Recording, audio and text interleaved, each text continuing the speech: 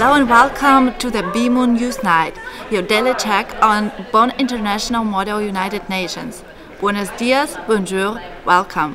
I'm Alexandra Ovchinikova and today's news are the 11th session of the BIMUN SINUB has opened today at the Waterworks, the elegant building of the neo-Gothic style in a quiet part of Bonn. Today, more than 150 young people from more than 50 countries have gathered to discuss the importance of human rights, commitment and responsibilities. What has brought them to Bonn? Uh, I think Bonn, Bonn International Model United Nations is one of the best MUN in the Europe. I think Bonn is a beautiful city and it has um, so many things to explore actually, so I just love Bonn. I'm here in Bonn because I'm really excited about this program. It's my first MUN, so I think that this is going to be great.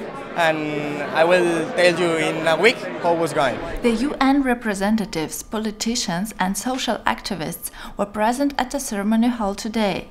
Angelika Kappel, deputy mayor of the city of Bonn, underlined the importance of the event for Bonn, the German UN city.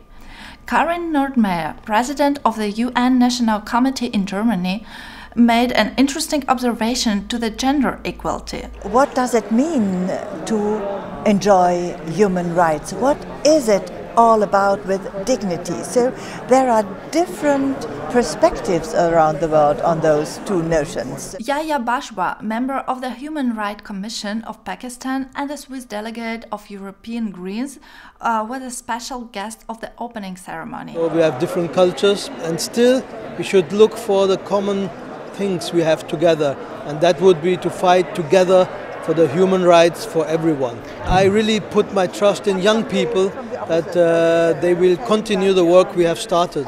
And now let's turn to the news from the Security Council. Our correspondent Johannes Brose reports. Today, the United Nations Security Council was in session to address issues concerning the current situation on the Korean Peninsula. Recent remarks by North Korean leader Kim Jong un and mixed reports on potential political opening were met with appreciation on behalf of the delegates. At the same time, sources averred that high military officials within North Korea are plotting to overthrow the DPRK leadership. Delegates from the present members voiced deep concerns over possible proliferation of nuclear weapons and material. They mutually agreed that it would be necessary to locate and secure those perceived threats, but did not come to a decision on military intervention yet.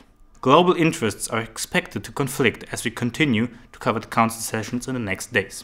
Thank you, Johannes. As you all know, we have a quiz. And the today's question is How much gram of CO2 is emitted by the production of one 200 gram beefsteak? I don't know, sorry. This question is so obvious.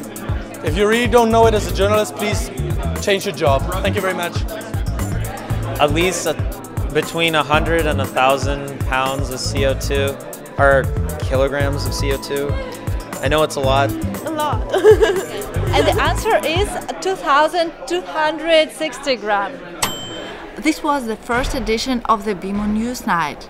We close with the thought of the day. Thank you for your attention and join us tomorrow. Something that was really surprising today was feeling inspired in the during the open, opening ceremony. It was amazing how you get inside the crisis and you have to work on it, standing in other ambassadors' shoes and trying to resolve the real problems. So the most amazing uh, event of today was just that we have reached nearly an agreement already. Also mein Tag mit so vielen internationalen jungen Menschen zu beginnen und auch zu beenden, das ist für mich sehr schön. I now completely changed my mind about opinions. For example, I'm representing uh, Russia and for the first time in my life I've seen how sometimes arrogant the US and the European Union act in front of, you know, the United Nations.